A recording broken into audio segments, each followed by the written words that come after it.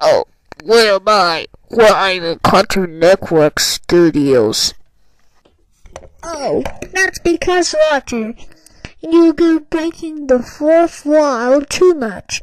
It's because in the end it's easy. You know what that means. You're grounded for five years.